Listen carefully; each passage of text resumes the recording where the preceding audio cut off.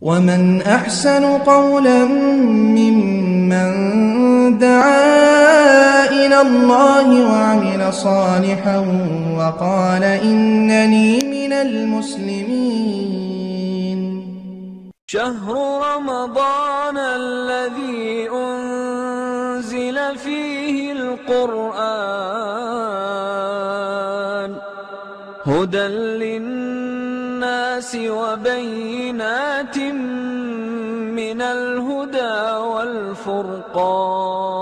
والفرقان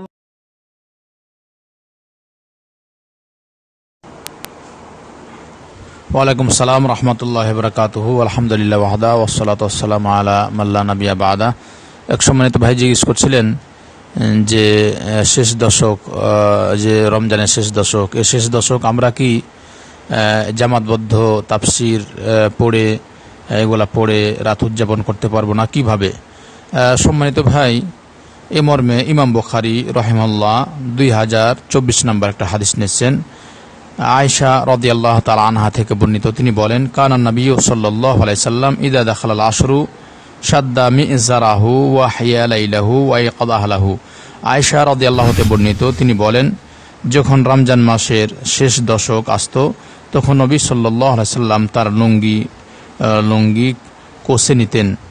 বেশি বেশি ইবাদতের প্রস্তুতি নিতেন। তার মানে তিনি খুব বেশি বেশি ইবাদত করবেন। এই জন্যই দৃঢ় প্রত্যয় নিয়ে ইবাদত করার জন্য প্রস্তুত নিতেন এবং রাত্রে জেগে থাকতেন ও পরিবার পরিজনকে জাগিয়ে দিতেন। হাদিস থেকে প্রমাণ হয় আল্লাহ রসুল সাল্লাহ সাল্লাম শেষ দশকে ইবাদত বন্দিগি করার জন্য তিনি প্রস্তুত থাকতেন।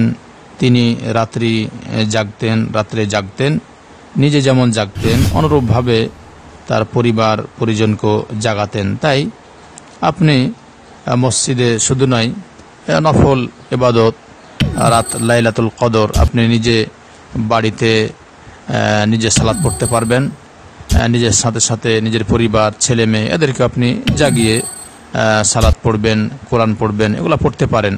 তবে তাফসির যে তাফসির পরস্পর- পড়বেন এটা আপনি নিজে নিজে পড়বেন। সবাই জামাতবদ্ধভাবে একে অপরে। এটা নয়, বরং এবাদত যেটা বলা হয় ওইটাও এক প্রকার ইবাদত। তবে যদি আপনি নিজে কোরআন পড়ছেন সালাদ পড়ছেন, আল্লাহর কাছে কাঁদছেন কাটছেন এটাই এই হাদিস দ্বারা প্রমাণিত হয়। এই হাদিস দ্বারা এটাই প্রমাণিত হয়। তাই আল্লাহ রসুল সাল্লাহ সাল্লাম শেষ দশকে তিনি এইভাবে ইবাদতবন্দি করতেন। তাই আমরাও চেষ্টা করব আল্লাহ যেন আমাদের সে তৌফিক দান করেন। জি, আর এ মর্মে আরও হাদিস যেগুলো রয়েছে, আল্লাহ রসুল সাল্লাহ সাল্লাম আপনার যেগুলা শেষ দশকের সাথে সাথে আপনি কেউ যদি শেষ দশক একেবারেই না পারে দশ দিন তাহলে অন্তত যেগুলা বিজোড় বিজোড় রাত রয়েছে সেগুলা সে তালাশ করতে পারে। এ মর্মে আল্লাহ রসুল সাল্লাহ সাল্লাম ইমাম বখার রহমাল হাদিস নিয়েছেন, দুই হাজার বিশ নম্বর হাদিস। এখানে বলছেন তা হার্রাউ লাইলাত আল কাদরি ফিল আশিল আওয়াখির মিন রমাদান মিন রমাদান। তোমরা শেষ দশকে লাইলাতুল কদর তালাশ করো তালাশ করো। অন্য হাদিসে রয়েছে যে, বিজোড় রাত্রিগুলাতে তালাশ করো, বিজোড় রাত্রিগুলাতে তালাশ করো। আর আল্লাহ রসুল সাল্লাহ সাল্লাম বিজোড় রাত্রে তালাশ করার জন্যই অন্য হাদিসে রয়েছে। যেমন দুই হাজার সতেরো নম্বর হাদিস হাদিসে আয়েশা থেকে বর্ণিত তিনি বলেন, আল্লাহ রসুল সাল্লাহ সাল্লাম বলেন তাহারাউ লাইলাতাল কাদরি ফিল ভিতরি মিনাল আশির আওয়াখির মিন রমদান রমজান মাসের বিজোড় যেগুলো সংখ্যা রয়েছে, যেমন একুশ, তারপর তেইশ, তারপর পঁচিশ, সাতাইশ, উনত্রিশ, এই রজনীগুলোতে কেউ জাগ, জাগতে পারে, লাইলাতুল কদর তালাশ করতে পারে। এর অর্থ এই নয় যে তাকে দেখতে হবে যে লাইলাতুল কদর হলো কি হলো না, এটা নয়।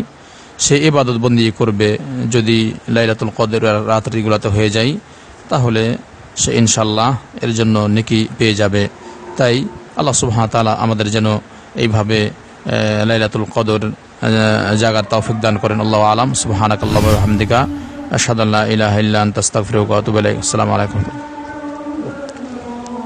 أشرقت نفسي بنور من فؤادي حينما رددت يا رب العالمين.